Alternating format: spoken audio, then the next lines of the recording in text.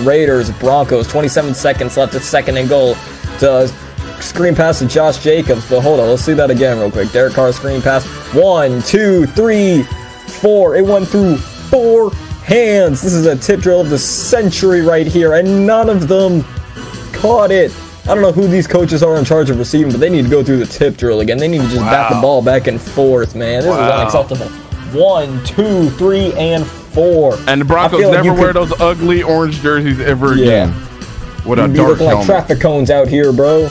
bro I, feel, I feel like somebody needs to edit, edit, edit like the Mario plus one. The every time it goes through the.